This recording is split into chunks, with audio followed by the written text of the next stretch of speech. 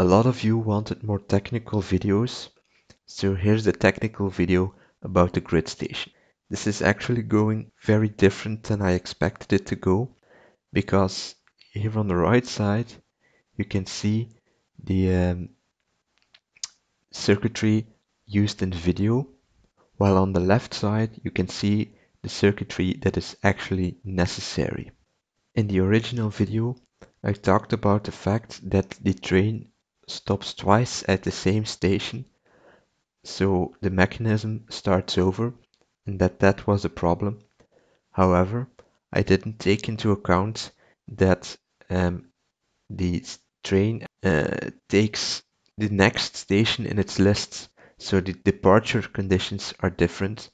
So it does, actually doesn't matter if the mechanism starts over the train stays where it uh, stops and the simple combinators are enough. The only thing that's left in the circuitry is a simple pulse extender. I didn't design this.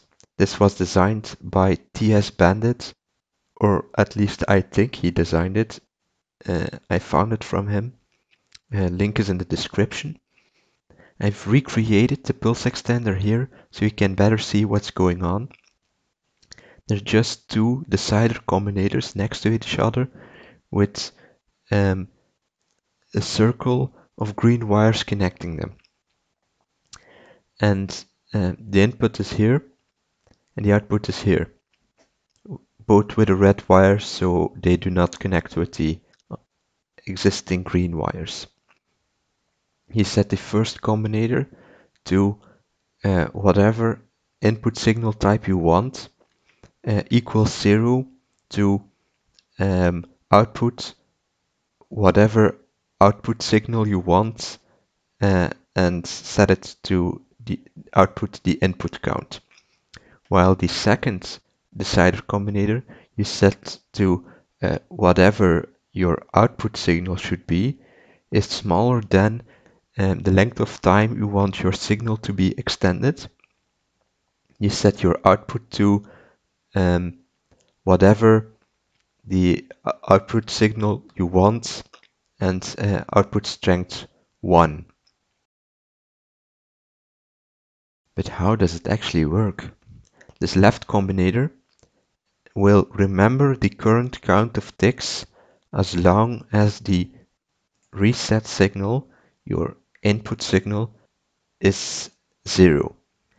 And as long as your tick count is smaller than whatever number you've set it to, the right combinator will increase the signal with one every tick. After the amount of uh, ticks you've set are passed and the threshold is reached, and the um, output is no longer increased by one. But um, your red output wire is also connected to this um, signal, uh, to this combinator, so that also cuts out. So this is just a simple counting circuit that outputs um, a signal when the value is below threshold and you reset the value, um, the, the count with another signal.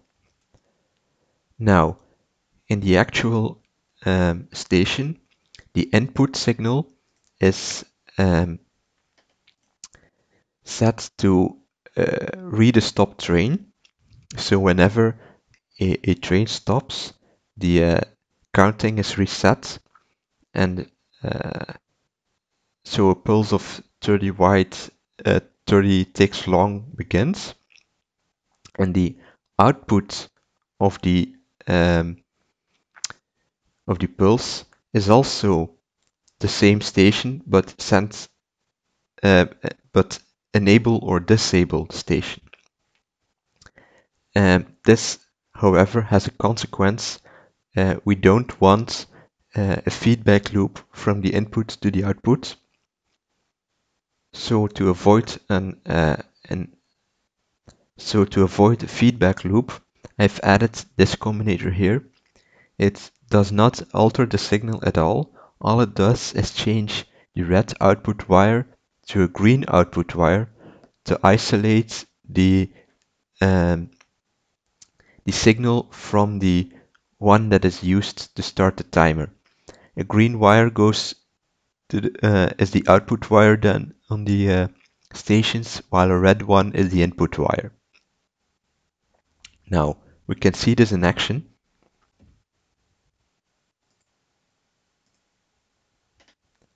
Here you'll see the account starting from 0, going back to 30,